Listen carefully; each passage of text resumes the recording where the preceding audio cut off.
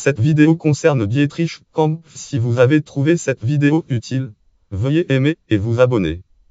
Dietrich Kampf, naît le date de naissance 3 avril 1953 à Oberhorizontal est un saut à ski sauteur à ski Allemagne allemand.